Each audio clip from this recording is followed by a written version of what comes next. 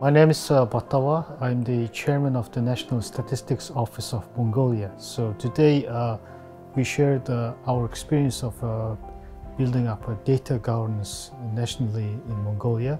So we emphasized on uh, having a good uh, legislation in place to promote the data openness, also build up the trust in data. And what we have learned is that uh, the capacity building is really important at the NSOs and also the uh, overall the institutions involved in the data ecosystem.